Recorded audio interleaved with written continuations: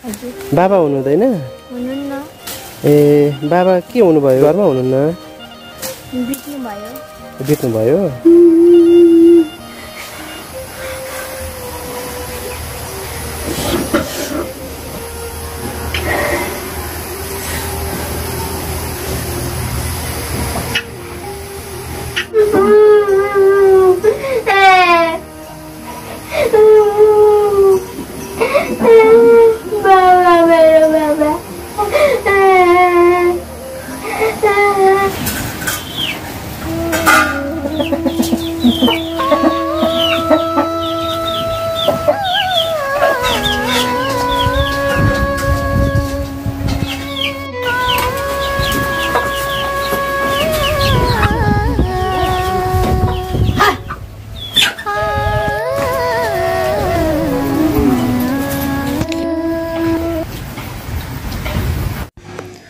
दर्शकबिन म कामको सिलसिलामा अनकन्टार जङ्गलको बिचको बाटो हुँदै कहीँ गन्तव्यतिर गइरहेको हुन्छु र जाँदा जाँदै सानो सानो दुईजना भाइ बहिनीहरू जङ्गलको बिचमा घाँस काटिरहेको देख्छु सोतर काटिरहेको देख्छु। उहाँहरूसँग केही कुरा गरौँ जस्तो लाग्छ म उनीहरूको नजिक जान्छु र उनीहरूसँग कुरा गर्न थाल्छु। उनीहरूले भन्छन् उनको बाबाको मृत्यु रुखबाट झरेर भइसकेको छ। हाम्रो पढ्ने अवस्था छैन त्यसैले अरूको लागि हामी काम गर्छौँ। नानी कति वर्षको हुनुभयो? म बाह्र वर्ष एघार वर्ष भाइ नौ। ए अनि यो सोतर काट्नु भएको? ए जहिले यसरी काम गर्नुहुन्छ? आमालाई सघाउनुहुन्छ? ए सानो भाइ? नाम के हो? हजुर। आशिष। के? आशिष भित्रीकोटी। अनि तिमी जहिले यसरी घाँस काट्न आउँछु। दिदीसँग आउँछौ? ए ए यो अब डोको भरेर लानुपर्ने? ए अनि तपाईँहरू यसरी घाँस काट्दै हुनुहुन्छ होइन? घर चाहिँ कहाँ हो तपाईँहरूको?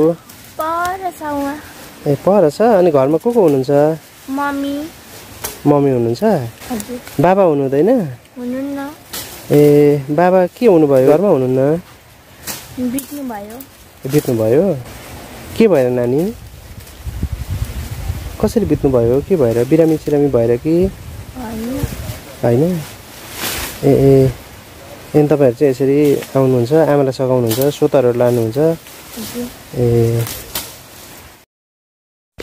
दर्शकबिन उनीहरूसँग केही कुराकानी गरिसकेपछि उनीहरू आफ्नो घरतिर लाग्छन् र म पनि सँगसँगै उनीहरूको घरमा जान्छु। उनीहरूले बताउँछन् उनीहरूको बुवा अर्काकोमा काम गर्न जाँदाखेरि रुखबाट खसेर बित्नु भएको रे करिब करिब तिन महिना अगाडि उनीहरूको बुवा बित्नु भएको भन्ने कुरा सुन्नमा आयो। त्यस कारणले उनीहरूको घरसम्म जाने मैले पनि निधो गरेर म उनीहरूको पछि पछि उनीहरूको घरसम्म लागेँ। दर्शकबिन जङ्गलदेखि धेरै टाढा उनीहरूको घर रहेछ धेरै टाढासम्म उनीहरू घाँस सोतर गर्नको लागि आएका रहेछन्। दर्शकबिन उनको घरमा पुग्दा घरको अवस्था यस्तो देखिएको छ। ए यो तपाईँको घर? हजुर। ए यो नानीहरू तपाईँको दुईजना नानीहरू? हजुर। कति कतिमा पढ्दैछन् तपाईँको नानीहरू? छोरी छमा छोरा पाँचमा। छोरी छमा छोरा पाँचमा। तपाईँको श्रीमानको मृत्यु भर्खरै रुखबाट झरेर भएको भन्ने कुरा मैले सुनेको थिएँ होइन। कति वर्षको हुनुहुन्थ्यो भाइ? अडतिस वर्षको। अडतिस वर्षको हुनुहुन्थ्यो। उहाँ के आफ्नै काम गर्दा त्यसरी झर्नुभयो कि अथवा अरूको घरमा काम गर्दा त्यसरी झर्नुभयो कि? अरूको घरमा रुख जानुभएको थियो अनि झरेर मृत्यु भएको। उहाँ मृत्यु भयो कि हस्पिटलमा? हस्पिटल बेन्ची हस्पिटलमा। ए उहाँ त्यसरी एक्सिडेन्ट हुनुभएको अथवा झर्नुभएको कति दिन पछाडि उहाँको मृत्यु भयो? त्यतिखेरै झरिसक्दै मृत्यु भएको थियो बेन्ची हस्पिटलमा लग्ने बित्तिकै। तपाईँको नाम? मेरो पवित्र भित्रकोटी। पवित्रा भित्रीकोटी यो कुन ठाउँ हो तपाईँहरूको यो? यो तेलपानी। तेल पानी भनेको मेचीनगर कति पर्छ यो? तिन। मेचीनगर तिन तेल पानी पर्छ अब तपाईँको छोराछोरी दुईजना हुनुहुन्छ तपाईँको घर पनि मैले देखेँ होइन। हजुर। अब के छ यिनीहरूलाई कसरी पढाउँदै हुनुहुन्छ? होइन तपाईँको श्रीमानको मृत्यु पछाडि यिनीहरूलाई पढाउन पनि गाह्रो भइराखेको होला। कसरी पढाउँदै हुनुहुन्छ? अब छैन पढाउनु पनि दुःख छ। खेताला गयो ल्यायो कमायो खुवायो अब अहिले त छैन पनि काम गर्न पनि। ए अर्काकोमा खेताला गएर जीविकोपार्जन गर्दै हुनुहुन्छ? ए ए अनि यहाँ बस्नु भएको कति भयो तपाईँहरू? यहाँ बस्नुभएको त थुप्रो भयो होला। म त तपाईँको बिहे भएर यहाँ आउनुभयो कति भयो? मेरो हजुर। अठार उन्नाइस वर्षको होला। अठार उन्नाइस वर्ष अगाडि तपाईँ बिहे गरेर यहाँ आउनुभयो। हजुर। तपाईँ बिहे गरेर आउनुहुँदा तपाईँको श्रीमानले यही घरमा भयो कि अर्को घर थियो? अर्को घर थियो पुरानो घर। यो त भर्खर सरकारले बनाइदिएको। अस्ति पैसा बिस गते सरेको। यो चाहिँ सरकारले बनाइदिएको? हजुर। ए अनि अहिले के छ? अब कमाएर ल्याएर खुवाउने होइन? तपाईँको अब छोराछोरी पढाउने तपाईँको श्रीमानको त मृत्यु भइसकेको छ होइन? अर्काकोमा काम गर्न जानु हुँदाखेरि उहाँको मृत्यु भएछ। कसरी गर्दै हुनुहुन्छ अहिले व्यवहारहरू? कसरी चलाउँदै हुनुहुन्छ? खेताला गयो ल्यायो अनि खुवायो। कोही बेला भोकै हुन्छन् केटाकेटी अब भन्ने बित्तिकै पैसा नि हुँदैन। दुःख छ। नानीहरू के गरेर पढाउने कसरी खुवाउने भन्ने टेन्सन भइरहेको छ।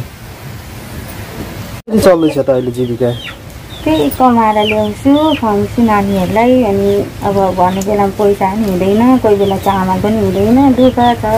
के गरेर प कमाएर खुवाउने बुढाले दिन्थे। अनि कति छ? जग्गा जमिन के छ तपाईँको यहाँ? मेरो त खै जग्गा दिनु नै छैन आमाको नाममा छ। आमाको नाममा छ? कति छ आमाको नाममा? खै कति छ? अब आमालाई त दिनुभएको छैन एक कट्ठा पनि यही घरेरी मात्रै दिनुभएको छ। आमाले यति घर के दिनुभएको छ? हजुर। पानी चुहिन्छ अनि नयाँ भन्नुभएको होइन? सबै सबै सुन्छ यहाँ थोरै हिलो छैन अनि कहाँ? अनि नयाँ घर भन्नुभएको होइन यो तपाईँले? नेपाल सरकारले बनाएको। भनेको। ए टिनबाट बाटी बाछिटो छिरेर हुन्छ माथि भित्रदेखि चुन्छ बाछी त होइन भित्रैदेखि करिब करिब अडतिस उन्चालिस वर्षीय उनका श्रीमान मेघराज अर्काकोमा काम गर्न जाँदा जाँदै रुखबाट झरेर उनको मृत्यु हुन्छ। उनको श्रीमतीसँग कुरा गर्दा गर्दै उनी भक्कानिन्छन् छोराछोरी पाल्ने उपाय छैन अब कसरी गर्ने के गर्ने? बरु म पनि मेरो श्रीमानसँगै जान पाए नि हुन्थ्यो भन्दै उनी भक्कानिन्छन् रुन्छन्। हामी उनको दुःखका कुराहरू सुनिरहेका हुन्छौँ उनीसँग कुरा गरिरहेका हुन्छौँ। त्यतिकैमा उनका छोराछोरीहरू स्कुल जाने चटारो छ भन्दै आमालाई दाउरा सघाउन दाउराभित्र ल्याउन सघाउँछन्। पानी पर्न लागेको छ दर्शकबिन मौसम पनि त्यस्तै भइरहेको छ। उनीहरू दाउरा ओसारिरहेका हुन्छन्।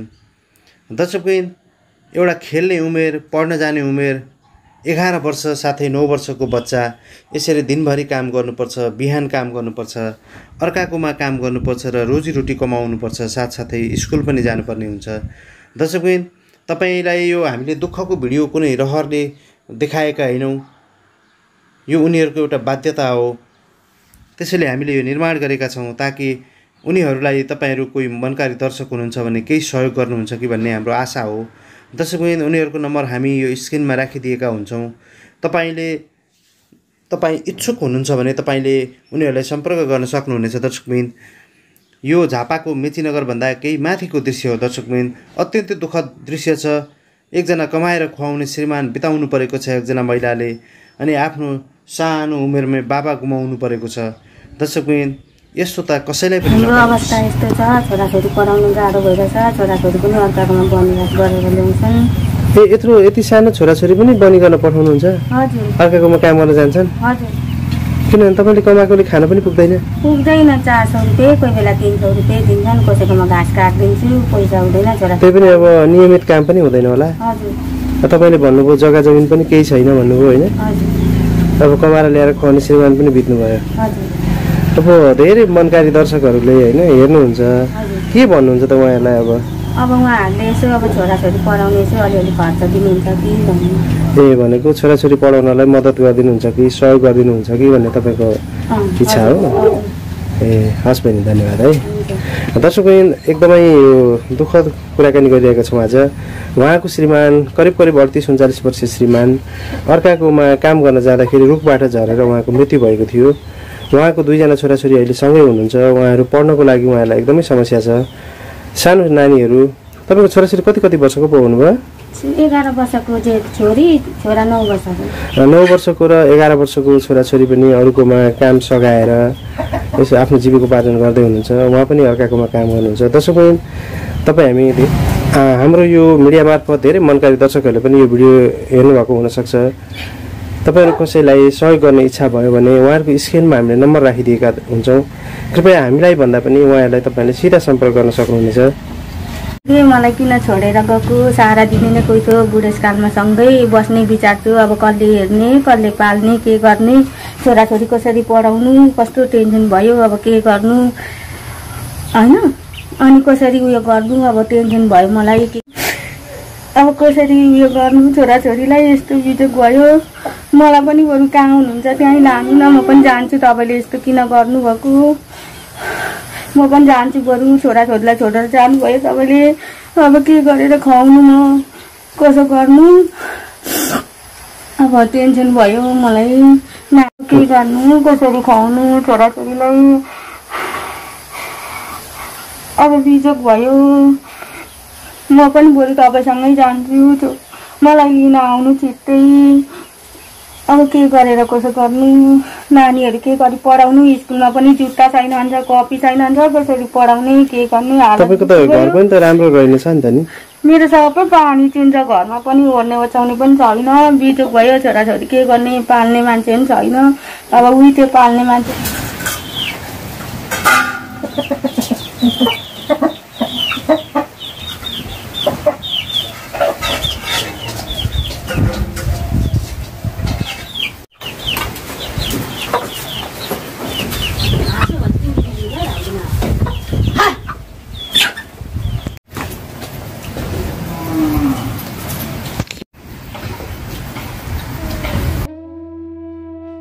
पनि आफूलाई कमाएर खुवाउने आफ्नो श्रीमानको मृत्यु पछाडि विक्षिप्त बनेका छन् उनका परिवारहरू।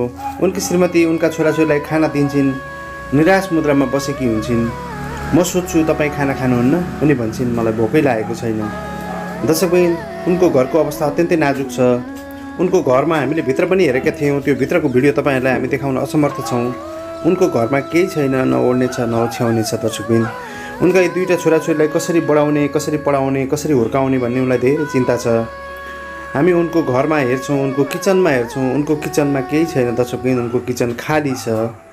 एकदम निराश मुद्रामा बसेकी छन् उनी। भन्छन् मेरो श्रीमानले मलाई किन छोडेर जानुभयो? दर्शक बहिनी तपाईँ हामी पनि सक्छौँ भने यो परिवारलाई केही सहयोग गरौँ न है।